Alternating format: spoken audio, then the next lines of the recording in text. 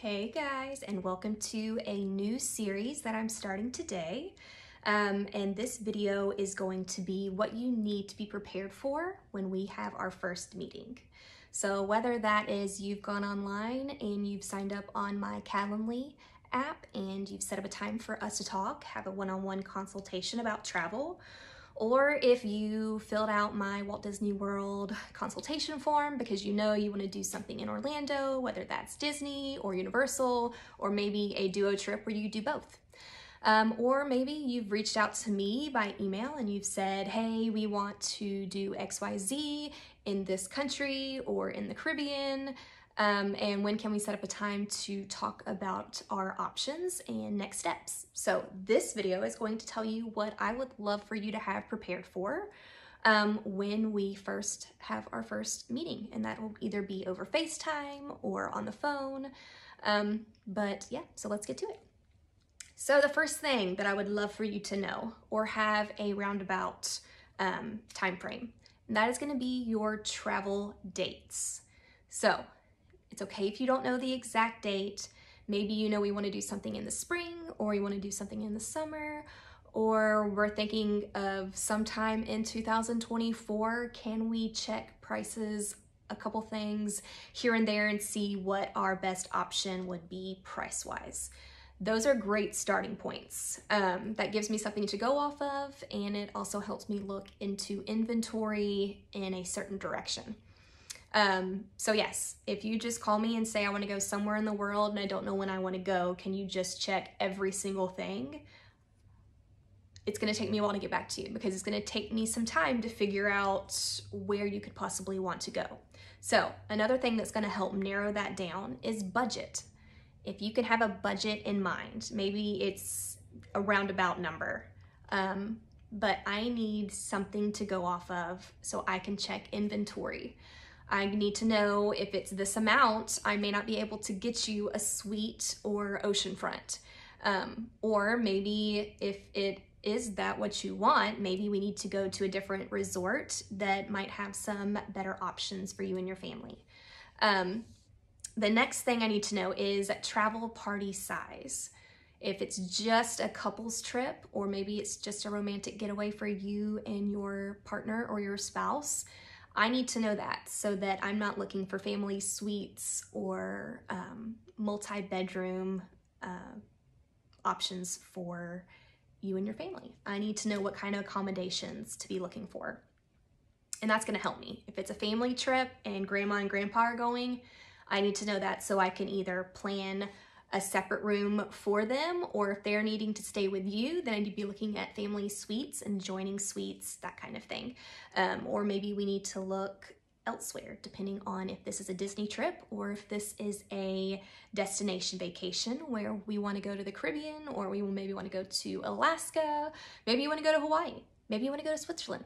I have no idea. If you don't know, I don't know. So if you can just give me some information to go off of, then we can get this booked quickly and start moving and grooving so we can get to the fun stuff. And the next thing I need to know is an idea of where you want to stay and what you want to do when you're there. So if this is a guy's trip, I'm gonna probably recommend maybe some golfing. Um, that tends to be a fun option for a group of guys. I don't book many bachelor parties. I don't book a lot of bachelorette party getaways, but these are things that we can talk about. And if I know information to go off of, maybe we just do a, you know, a beachfront property, um, you know, that has all inclusive and um, might be a good option for you and your family or your travel party. So um, knowing what kind of trip this is, whether it is a honeymoon, a romantic getaway, a couple's getaway, a family trip, family reunion, how many rooms are we gonna need for all those family members? Um, do we wanna book them all together? Do we wanna book separately? All those things are gonna help me um, and point me into the right direction for you guys. So um, those are kind of um, the big ones for me. Um, and then also knowing what um, kind of vacation this is, and let's narrow it down to tropical that's going to point me in direction. Let's look for some sand. Let's look for look for some pools. Let's look for some bigger accommodations if it's a family trip. Um, is this an Alaskan vacation? Is this um, international? Do we need to start talking passports?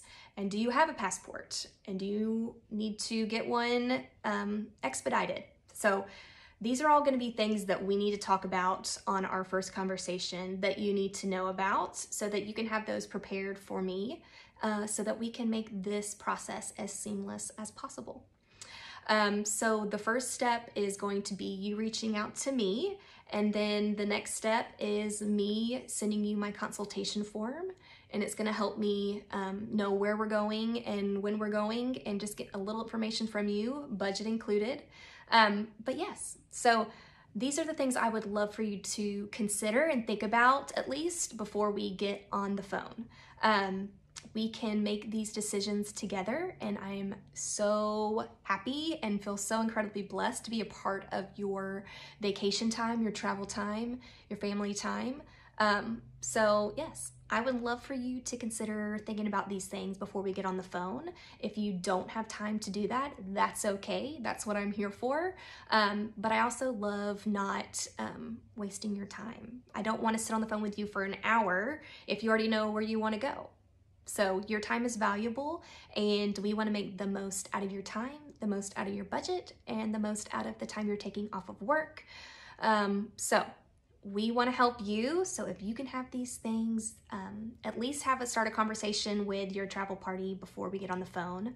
Um, if not, we'll figure it out together. But I just wanted to hop on here and just kind of give you a heads up of the things that I need from you. So I love you guys. Thank you for being here. I wanted to keep this short and sweet. Um, I know how valuable your time is, and so I appreciate you spending it with me. So I love you guys. Reach out, Caroline at glassslipperconcierge.com, and I would love to help you.